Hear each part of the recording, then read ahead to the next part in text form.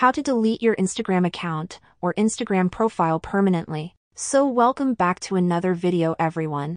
In this video, we'll show you the step-by-step process on how you can easily delete your Instagram account on both iPhone and Android devices permanently. So without wasting your time, let's start with the video. Open your Instagram app and then go to your Instagram profile by tapping here. Now when you get to the profile, you want to tap on the three horizontal lines at the top right of the screen, and then you want to open your settings and privacy. In earlier versions of Instagram, the option to delete our account was in the settings section of the app. But now, they've moved it and we want to click on this account center option if we want to delete our account.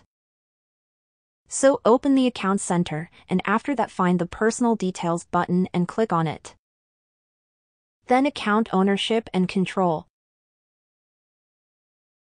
Click on the deactivation or deletion button.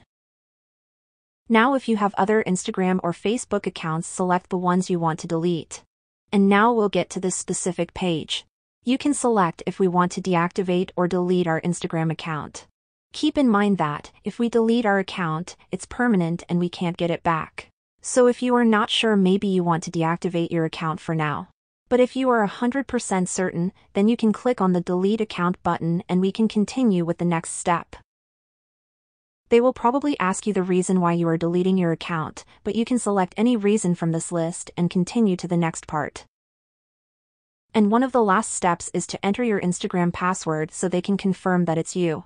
And then you'll get this message. When you delete your account, it will first be deactivated for a period of 30 days after which you will be able to log in and reactivate your account.